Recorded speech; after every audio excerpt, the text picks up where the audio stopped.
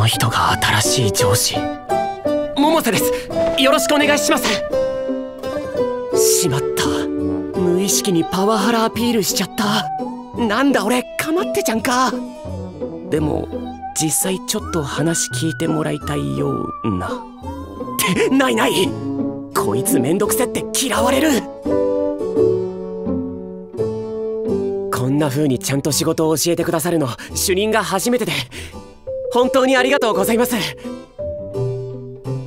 新しい上司は土天然。2023年10月放送開始。お返事くれた。文通？次は青山課長。よろしくお願いします。